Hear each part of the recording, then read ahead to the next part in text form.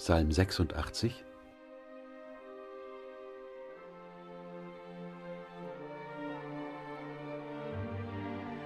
Ein Gebet Davids Herr, neige deine Ohren und erhöre mich, denn ich bin elend und arm.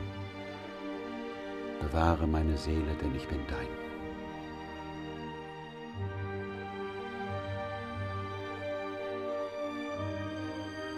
Hilf du, mein Gott, deinem Knechte, der sich verlässt auf dich.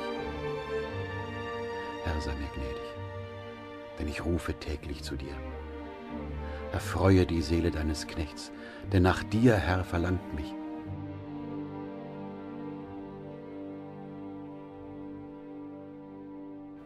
Denn du, Herr, bist gut und gnädig, von großer Güte allen, die dich anrufen.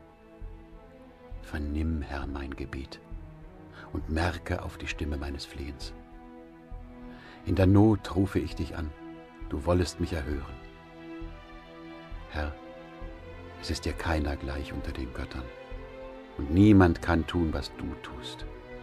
Alle Völker, die du gemacht hast, werden kommen und vor dir anbeten, Herr, und deinen Namen ehren, dass du so groß bist und Wunder tust und du allein Gott bist.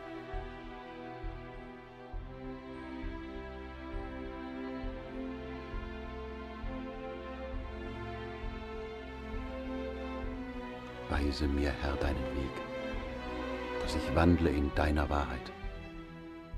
Erhalte mein Herz bei dem einen, dass ich deinen Namen fürchte.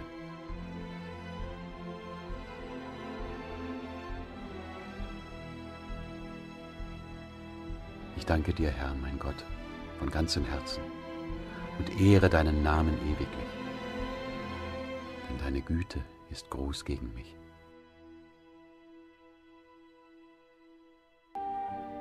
Du hast mich errettet aus der Tiefe des Todes. Gott, es erheben sich die Stolzen gegen mich, und eine Rotte von Gewalttätern trachtet mir nach dem Leben und haben dich nicht vor Augen. Du aber, Herr, Gott, bist barmherzig und gnädig.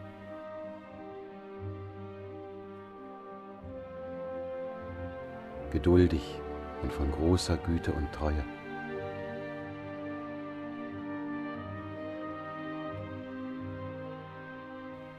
Wende dich zu mir und sei mir gnädig.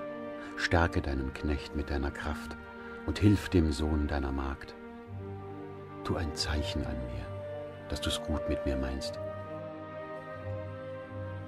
Dass es sehen, die mich hassen und sich schämen, weil du mir beistehst, Herr, und mich tröstest.